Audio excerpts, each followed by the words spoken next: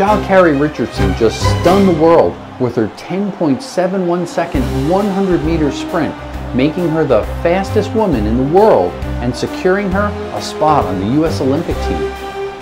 But what about your organization's cyber defense track?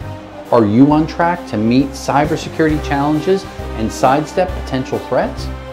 SecureWorks has laid out a comprehensive strategy plan for you in the form of track and field events and athletes starting with runners.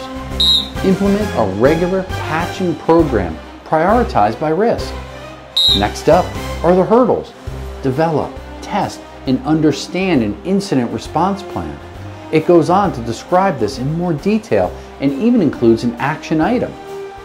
Under the Javelin event, we're reminded to conduct routine offensive security testing. They go on to describe adversary emulation, penetration, and other forms of offensive security testing as your best predictor of how your entire ransomware prevention ecosystem will perform in a real attack. There are more events that fill out this cyber defense track, but I'll let you explore them for yourself. Visit the link below on secureworks.com.